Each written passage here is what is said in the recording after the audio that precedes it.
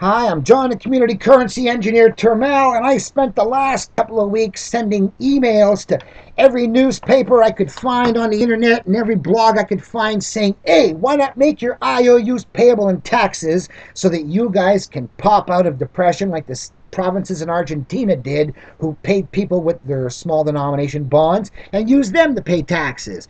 So urging these people to wise up and not be stupid compared to the Argentinians may have paid off. An article ends up state lawmakers back bill to make IOUs legal tender payable in all state taxes and fees. Here's a story leading up to it. So everybody's heard that California is going broke and they're going to have to pay people with IOUs. Well, that's a great idea if you do it right. So I've spoken of this before, but I decided I was going to go and spread the word, and these are the 200 different newspapers and websites who've been talking about California IOUs in the past few weeks. And I went and left commentary there. So I'll just read a few of the headlines, stuff like from uh, breaking news California controller says issuing 3 billion in IOUs a sign of fiscal mismanagement. Well, who cares as long as they work? But the point is, it's only mismanagement to people who think that the orthodox management that got us into this system, into this problem, is not mismanagement. So it is.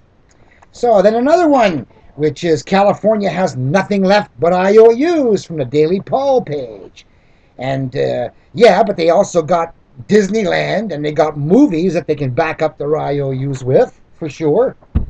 California's IOU fever is likely to spread to other states.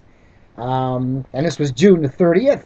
And we're saying, wow, let's hope the other states wise up too. But to every one of these posts, I went and left this message. There's nothing wrong with small denomination California state IOUs if I or anyone else can pay taxes with them.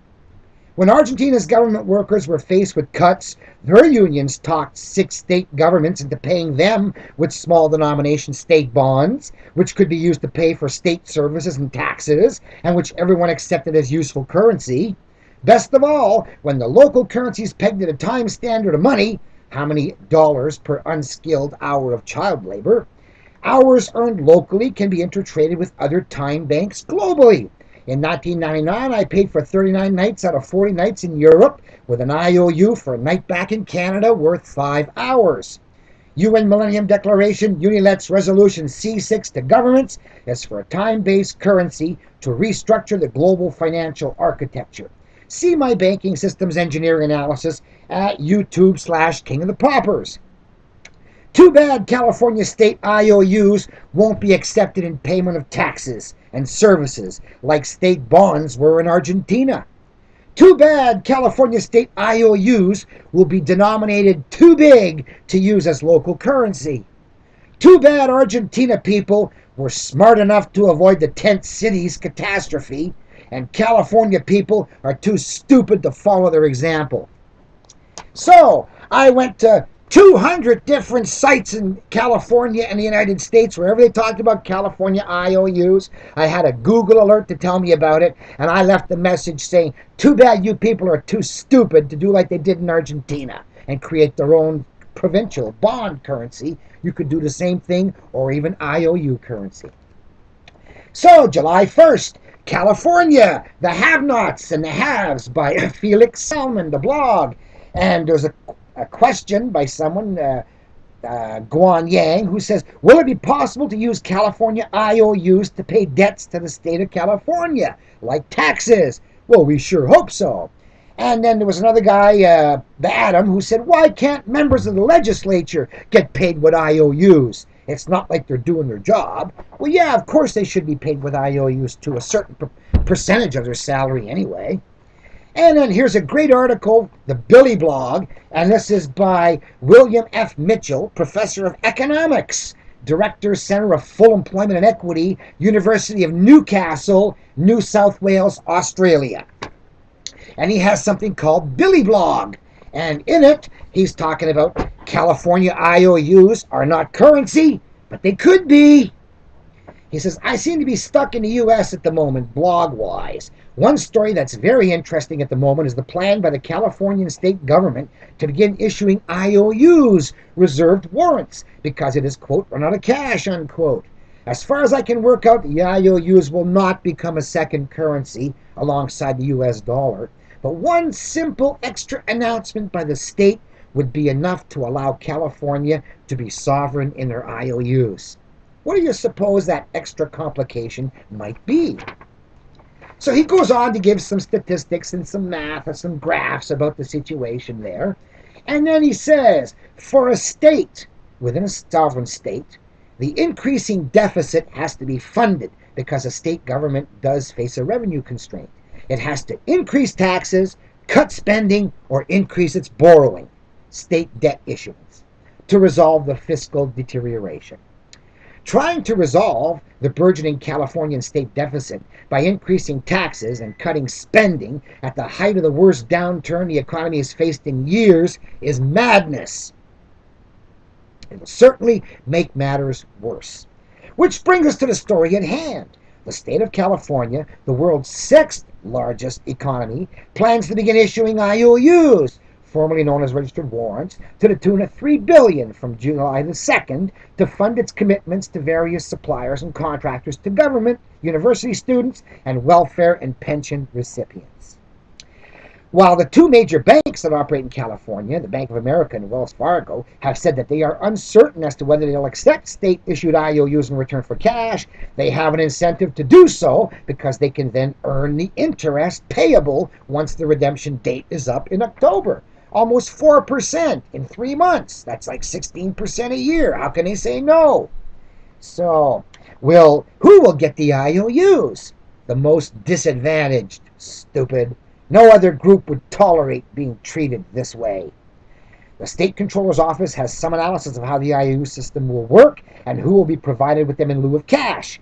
It will also provide a fact for the warrants payment system we learned that the largest proportion of IOUs will go to the aged, 590 million, the unemployed, 495 million, and the disabled, 363 million. First, there is no guarantee of convertibility into cash. I say this even though the state will, if it ever has enough cash, accept them on October the 1st for cash. But there is no stipulation that they can, can be traded in the meantime as if they were cash. Second, there is no provision that a Californian resident can pay their state taxes using the warrants as contra payments. Barter payments, basically, for state taxes. In other words, the warrants are not currency. If the state of California announced that it would accept these IOU vouchers as legitimate vehicles to liquidate one's tax obligations to the state, then the situation changes dramatically. To circulate the vouchers, all state employees would receive some or all of their pay in IOUs, bits of paper, or via electronic transfer into special voucher banks, which they could then use to pay their taxes. If all Californian citizens could similarly extinguish their tax obligations using these vouchers, then there would be a generalized demand for them, which means that state employees would be able to spend the IOUs in shops as they would the US dollar, just like in Argentina. The state of California would have no financial constraint in the IOU vouchers. It would simply spend them, pay its workers, and collect taxes later as people handed them back to satisfy their legal obligations for the services they got. Imposing the tax obligation in vouchers creates a demand for them and allows them to circulate as a currency. Soon enough, the banking system would develop IOU voucher accounts and related products in this way, the state of California could more easily maintain its level of services without imposing huge costs on the disadvantaged, which they're forcing to accept IOUs. The state could also expand public employment to attenuate the labor market impacts of the recession. So, if they ever do accept them for taxes, well, there'll be lots of jobs because Arnie's going to have a new kind of cash. There might be some reluctance to hold the vouchers. In general terms, whether Californians would desire to demand the IOUs would depend on how enforceable the tax obligations are.